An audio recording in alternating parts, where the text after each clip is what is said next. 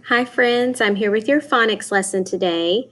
In our phonics lesson today, we're going to be looking at some patterns in words. And the patterns in these words are going to match the patterns in your spelling words this week. And the reason that we look for patterns in words and how to divide them is because it helps us know how to read them. When we come to a tricky word or a word we haven't seen before, if we can remember certain rules and patterns, then it can make it easier for us to read those words. So I'm going to show you my board and we are going to talk about some words and word patterns. Okay, so let's look at this word. The first thing we want to do is find the vowels. Okay, so we're looking for A, E, I, O, and U. So I have a vowel A. I'm going to put the letter V under it for vowel. And then I have a vowel I. So I've located my vowels A and I and I've marked them with V's. Now in between these vowels, I have two consonants. So I'm going to label those with a C for consonant. So with this rule, we divide this word in between those two consonants. And so we have divided this word into its syllables. And you'll notice that every syllable has a vowel. So if we have two different vowel sounds in a word, then that word is going to have two syllables. So we can say traffic. Okay, so that's two syllables. So when we read this word, it's much easier to read traf and fic than reading the whole word together. So if you're having trouble, you can break that down and we can even code our vowels.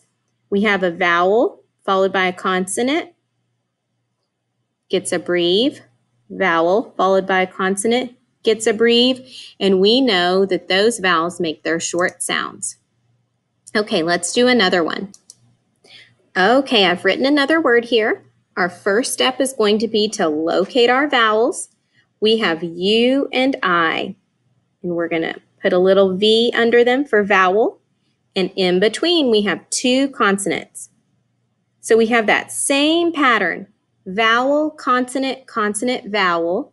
Vowel, consonant, consonant, vowel. Or V, C, C, V. And when we have that, we divide in between the two C's. And we have divided our syllables. Now we're going to look at this vowel and see it's followed by a consonant. So it's a short vowel, followed by a consonant, short vowel, and now we're ready to read. Until, okay? Until. So we've divided that word well. Let's do one more. Okay, now here's our last word. Now I bet you're thinking, I have never seen that before. And you're right, it's a made up word. But we're going to practice with a made up word so I can show you that the pattern still works and we can still read it even though it's something that we haven't seen before. So we're going to find our vowels, O and I. We're going to look in between them. We have two consonants. So we're going to label them with the C's and we're going to divide those consonants. We're going to put a dividing line in between the two consonants we have that same pattern, V, C, C, V. Okay, let's look at our vowels. This one, followed by a consonant, gets a breve. This one, followed by a consonant, gets a breve. So we're ready to read. Stromfil, Stromfil. Now that's a made up word, but using this pattern, we can still learn to read it. Okay, it's time to go back to your seesaw lesson and type done.